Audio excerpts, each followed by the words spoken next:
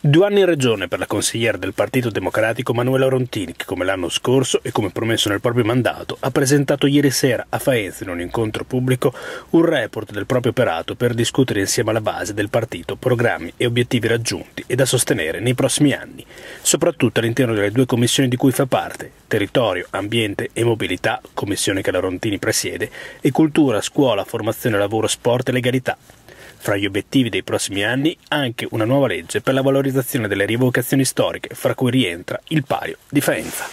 Due anni in regione, innanzitutto, che due anni sono stati, soprattutto quest'ultimo? Beh, sono stati due anni intensi, pieni di tante cose che abbiamo fatto, dovevamo recuperare il dato della nostra elezione a cui aveva partecipato solo il 37,7% dei cittadini emiliano-romagnoli, quindi abbiamo messo in campo tanto impegno, un po' di velocità perché abbiamo deciso che in politica bisogna discutere, confrontarsi, poi a un certo punto bisogna decidere. E quindi abbiamo approvato anche quest'anno 27 leggi, tra l'altro quando si approvano le leggi io sono sempre terrorizzata che non si vadano eh, ad aggiungere ulteriori complicazioni. Ecco, uno degli obiettivi dei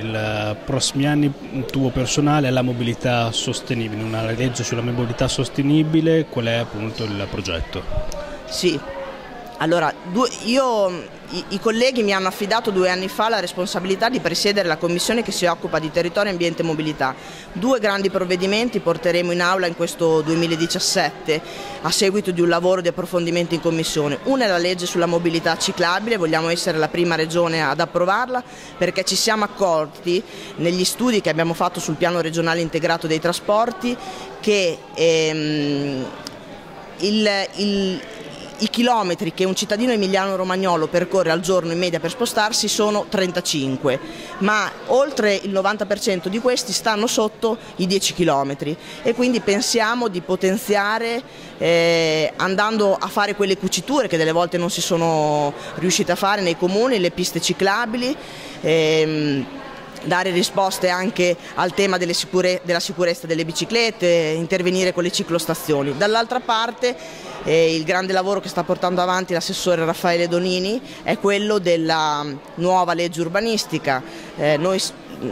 l'urbanistica, il costruire in questa regione è ancora regolato dalla legge 20 del 2000, una legge scritta quando la fase economica era completamente diversa, quando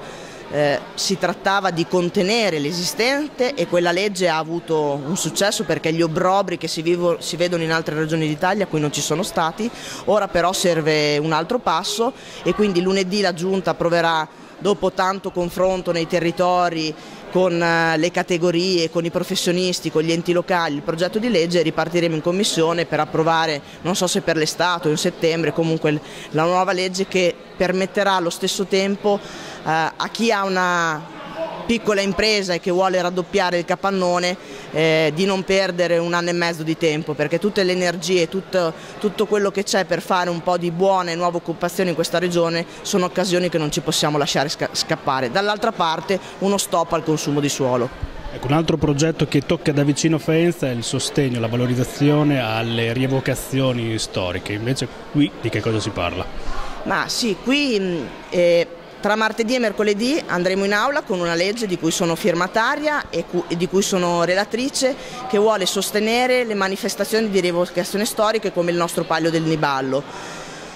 Conoscendo la, la, realtà di Faenza, quella di Ferrara, quella di Lugo, quella di tante città e di tanti piccoli paesi dell'Emilia Romagna, sappiamo che ci sono persone come quelle che rendono vivi 365 giorni all'anno i nostri rioni faentini che si impegnano con generosità si sfidano diciamo così, nel, nel, mese di giugno al Palio, alla Bigorda, eh, ai trofei dei musici e degli sbandieranti, ma durante tutto l'anno animano la nostra comunità. Quindi abbiamo eh, presentato una legge che è già finanziata eh, per il 2017, che vedrà 150 mila euro di risorse per sostenere eh, le manifestazioni storiche che devono essere radicate da almeno 10 anni con criteri ben individuati e anche quel patrimonio di costumistica che le associazioni come i nostri rioni appunto curano eh, e tengono manutentato. Quindi due canali di finanziamento